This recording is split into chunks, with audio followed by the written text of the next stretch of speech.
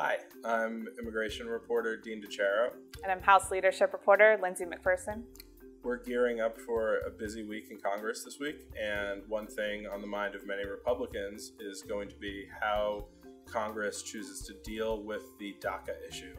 Uh, President Trump has given lawmakers uh, six months to come up with a legislative solution, and House leadership is now getting involved, and we're going to just uh, go over some of the things that they're going to be facing. So, what is leadership really doing now?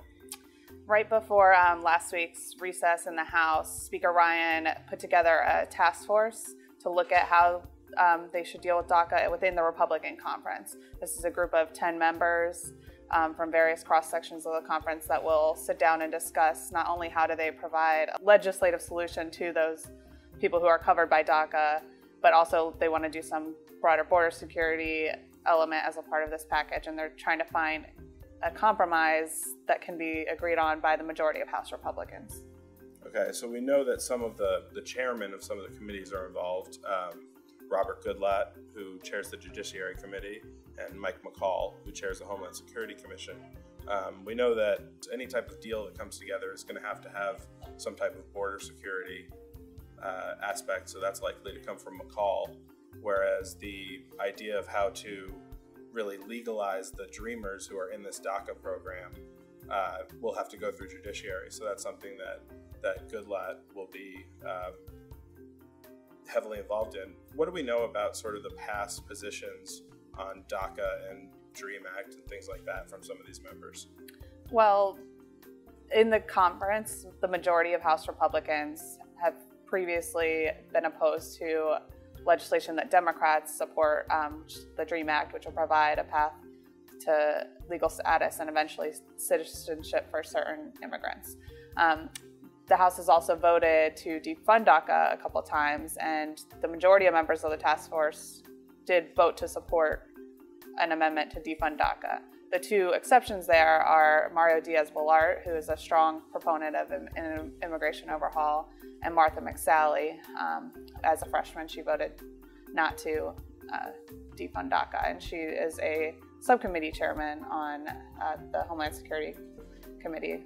And we have another subcommittee chairman in uh, Raul Labrador. And Labrador in 2013, which was sort of the last time Republicans got together to sort of figure out how they could approach immigration overhaul. Labrador was a member, um, and as well as uh, Diaz Balart and John Carter, who are also, also, on the on task force. So yeah, three of these ten members served on that 2003 or 2013 Gang of Eight, as they were called, um, to try to find a comprehensive immigration solution, and that failed. And they're no, no, longer looking at comprehensive, so it'll be interesting to see how the pieces they were pushing for from that effort play into what they're doing now with this task force. And is there any indication that uh, there will be a consensus? Uh, are you are you confident that you think they could find an agreement? What are the major obstacles? I think that the DACA portion is just the major obstacle. Fine, it's very contentious within the Republican conference as a whole as to whether you grant undocumented immigrants, including the young undocumented immigrants that are considered the dreamers, um, any kind of path to legal status, let alone a path to citizenship. I mean, a path to citizenship will never have the support of a majority of House Republicans. So my guess is this group doesn't even really go there, even though Speaker Ryan has supported that in the past as a generality. Um, and Ryan and McCarthy are on this task force, so they're kind of overseeing this effort as well.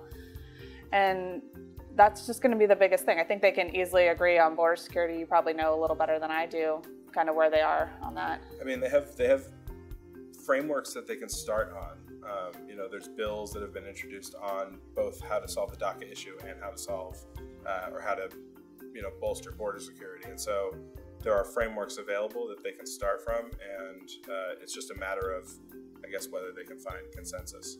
Yeah. Well, that's probably the starting point, and we'll see where it goes from there. Yeah. Thanks, Lindsey. Thanks.